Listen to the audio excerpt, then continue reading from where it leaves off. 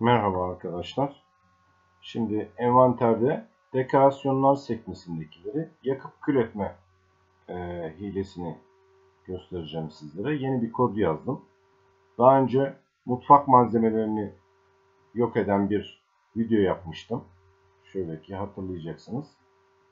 Mutfak malzemeleri içinde. Şimdi de envanterdekileri yok edeceğiz. E, kovalı çeşmeyi Farmville 2 kovalı çeşme deyip atıp kodunu böyle bulacaksınız arkadaşlar. Dekorasyonlar sekmesi açık kalacak. Çok dikkatli izleyin. Mouse'un ucuna bir item takacağız. Kodları onaylatmadan önce. Onu kaçırmayın. Kodu yapıştırıp aratıyoruz.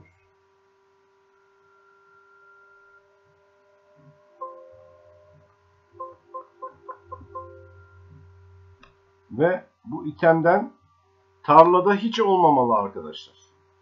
Tarladakileri siler, envanterdekileri silmez. Silme kodumuz bu arkadaşlar. Tarafımdan yazılmıştır. Yakıp kül etmek manasına geliyor. Dediğim gibi İngilizce ve Portekizce yazdım. Tarlada hiç olmayacak. Kopyalıyoruz kodumuzu. Şimdi kodu yazmadan önce mouse'un ucuna bir tane takıyoruz arkadaşlar ama tarlaya koymuyoruz. Mouse'un ucunda. Burayı siliyoruz. Kodu yapıştırıp onaylatıyoruz. Gördüğünüz gibi iptal diyoruz. Ve herhangi bir arkadaşımıza gidip geri döneceğiz. Oyunu tazeleyeceğiz. Silmek istediğiniz itemden tarlada olmamalı.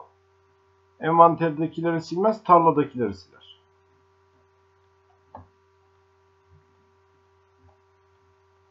Tarlanın oturmasını bekliyoruz.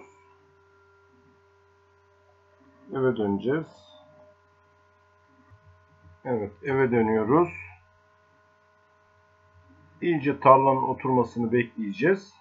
Ondan sonra oyunu tazeleyip envantere bakacağız arkadaşlar. Evet oyunumuz açılıyor arkadaşlar. Tarlanın oturmasını bekliyoruz. Envanterimize tıkladık açılmasını bekliyoruz.